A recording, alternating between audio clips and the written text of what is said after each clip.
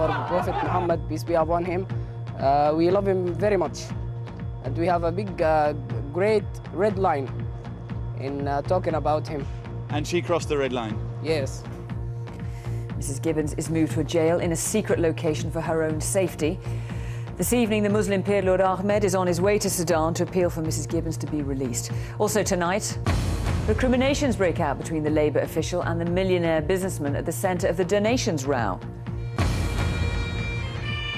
Hundreds of firefighters pay tribute to one of their four colleagues killed in the warehouse blaze in Warwickshire.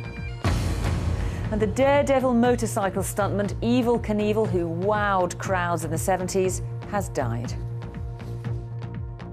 On BBC London News, the families of 7-7 victims are sent graphic details of their injuries, even though they didn't ask for them, and the dementia patient who accidentally hanged himself in a care home.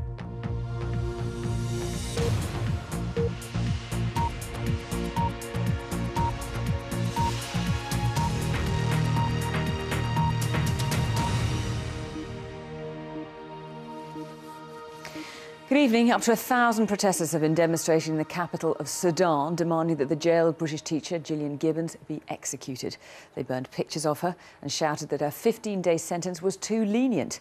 Mrs Gibbons, who is in prison for letting one of her school children name a teddy bear Mohammed, has been moved to a jail at a secret location for her own safety. Tonight, the Muslim peer Lord Ahmed is on his way to Sudan to try to press for her early release. Adam Mynott reports from Khartoum. Fury in Khartoum as many hundreds of people poured out of Friday prayers and onto the streets of the capital.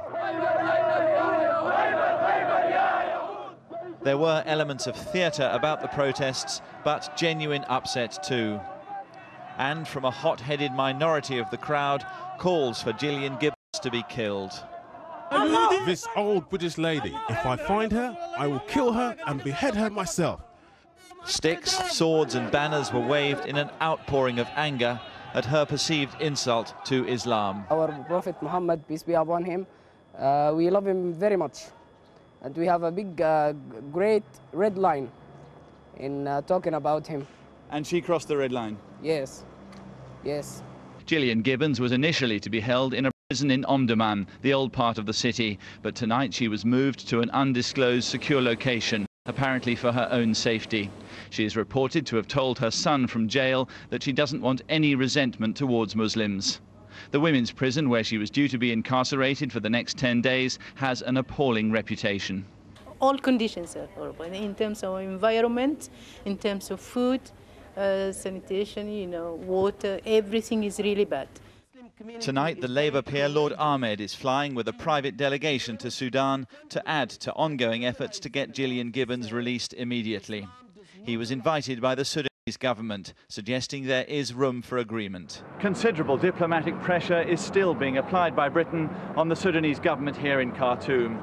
And I understand that the British authorities feel that there is still room for a compromise where Gillian Gibbons can be released ahead of serving her full 15-day sentence. Only a small minority joined in protest today. Many in Sudan know little of the case, and others feel she should not have been prosecuted and that court action against her has damaged Islam. The Sudanese criminal justice system is harsh and unyielding. Others have been beaten for illegally brewing alcohol, for adultery, and even for protesting about plans to relocate a university in the capital. The street protest lasted two hours and ended as quickly as it had started. The conviction of Gillian Gibbons has damaged relations between Britain and Sudan.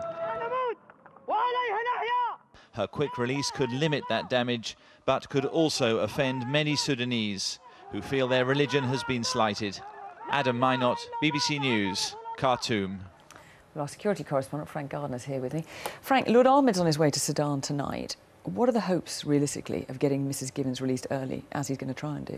Pretty high. I spoke to Lord Ahmed uh, at the airport just a few hours ago as he prepared to leave, and the indications that he's been given from the top in Sudan are very encouraging that they want to cooperate in the early release or in the release of Ms Gibbons, because this is very embarrassing to, for the Sudanese government.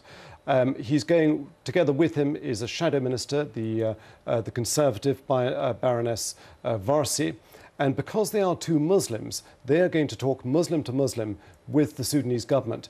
Lord Ahmed has spent much of this week already negotiating quite separately from the Foreign Office with the Sudanese authorities. He knows them well. He's met General uh, Omar Bashir, the Sudanese president, before. So he's relatively optimistic that when he returns to Britain by around Monday, he might possibly have Mrs Gibbons with him.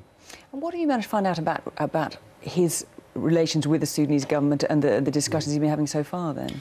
Well, I mean, I think the question one should ask: Why, why should she be released early? Why, you know, why would the Sudanese government do this? Um, this may sound like a conspiracy theory, but there are some analysts who think that this will actually suit the Sudanese government to show mercy in just the same way that Iran's President Ahmadinejad did over the sailors captured earlier this year. That because he's releasing them to a non-government player, Lord Ahmed, um, to a Muslim in a way that's thumbing his nose, or thumbing Sudan's nose, at the British government, the former colonial power that ruled Sudan up until 1956. This could be a face saving way out to get her out of the country early. The Sudanese government, I don't think, wants to hang on to her any longer, any more than she wants to be there. Okay, Frank, thank you very much.